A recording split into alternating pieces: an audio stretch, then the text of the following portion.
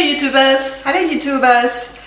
Today we are here with a tag. With something different today, not about makeup, today is the accent tag. Yes.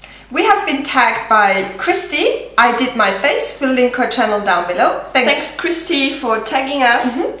And we thought it's a very fun tag, we like watching that tag also. There are a few words on the list and I guess it's interesting how, How we pronounce them. Yeah, so I'll let Brigitte start. Yes. Have my iPad here, so I read it off the iPad now. And, root, wash, oil, theater, iron, salmon, caramel, fire, water, sure, data, ruin, cryon, toilet, New Orleans, pecan, both, again, probably spitting image, Alabama, lawyer, coupon, mayonnaise, syrup, that's actually how we call it in German, pyjamas, coat, naturally, aluminium, and envelope. So I let because I had to let her do the first round because I think there are a few words we pronounce differently. So now I will do the same thing. Aunt, root, wash, oil, theater, iron, salmon, caramel, fire, water, sure, data, ruin, crayon, toilet, New Orleans, pecan, both, again, probably spitting image, Alabama, lawyer, coupon, mayonnaise, syrup, pajamas, coat, naturally, aluminium, envelope. So I don't know if that was different or not, but yeah, quite fun words to pronounce. So I hope you had fun with that. Now we'll move on with the questions. What is it called when you throw toilet paper on a house? Okay, we've never done that. No, and we have no idea because this is, I think, uh, an American thing. Yeah. We don't do that here. We would say it is called you throw toilet paper onto a house or damaging a house. or playing a game with someone. or Halloween. Maybe, yeah. What is the bug that when you touch it, it curls into a ball? Into a ball, a bug.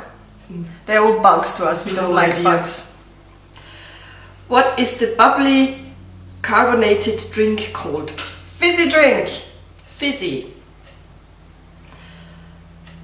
What do you call gym shoes? Trainers. Sneakers. Yeah. What do you say to address a group of people? Um, hi everyone. Hi guys. Or hello people. Sometimes if I make fun. I say Hello my lovelies. Yeah, or that. What do you call the kind of spider or spider-like creature that has an oval-shaped body and extremely long legs? E.